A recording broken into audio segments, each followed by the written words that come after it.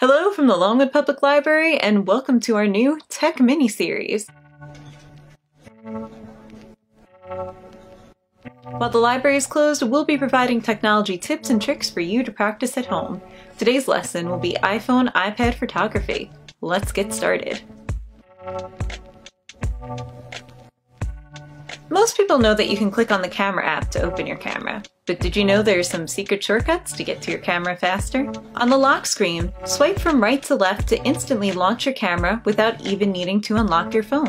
You can also find an icon for the camera in your control center. If the camera icon is missing, you can bring it back by going to the settings menu and choosing the control center and looking for the camera in the list of options. Method number three is the easiest. Just ask Siri.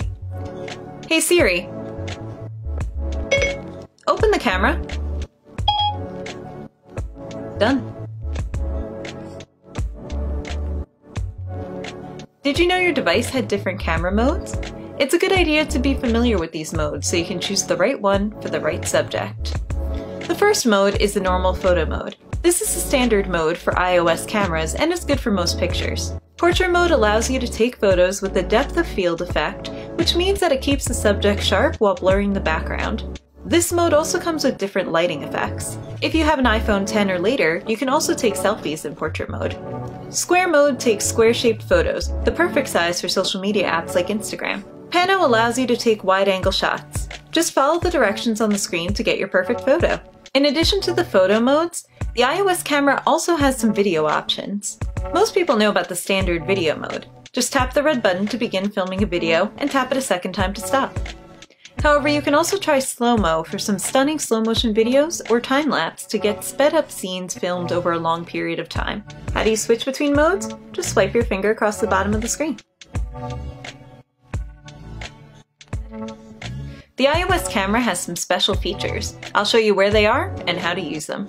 The first feature is flash. Like flash on a traditional camera, this feature creates a burst of light to illuminate a shot in a low light situation. You can also turn the flash on, off, or put it on auto. Next we have Live Photo. Live Photo allows you to take a picture that moves for a few seconds when you tap on the Photos app. It can create some fun shots. You can toggle the live photo option on or off in the camera. The next feature is Timer. Timer automatically snaps a photo after a countdown, giving you time to get your shot composed. You can set it to 3 seconds or 10 seconds.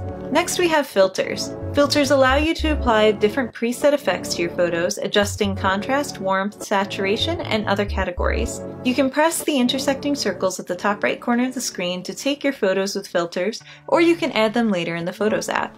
And last is a feature called Burst. Burst allows you to take a bunch of photos in a row by holding down the shutter button. This is a great way to catch subjects that are moving quickly. To choose your favorite shots in a burst, go to the Photos app, find the photo you took in the burst, and choose Select. Check off the shots you want to save and click Done. You'll get an option to keep all of the shots or only the photos you selected. Having trouble getting the perfect shot? These features are here to help. If you're having trouble lining up your shot, make sure you're paying attention to your grid lines. The lines appear on your screen as you are taking a photo to help get your camera aligned properly. Not seeing a grid? Go to Settings and choose Camera and make sure that grid is enabled. Is your environment too dark or too bright? Adjust the lighting by holding your finger down on the screen and dragging the little sun slider that appears up or down until you're happy with the picture. Is your subject too far away? That's okay. Just pinch the screen to zoom in. You can also tap the 1x button to adjust your zoom as well. That's it for today's Tech Mini. If you have any questions on today's lesson or suggestions for future lessons, leave them down in the comments below. Thank you for watching, and I hope you all have a wonderful rest of the day. Bye!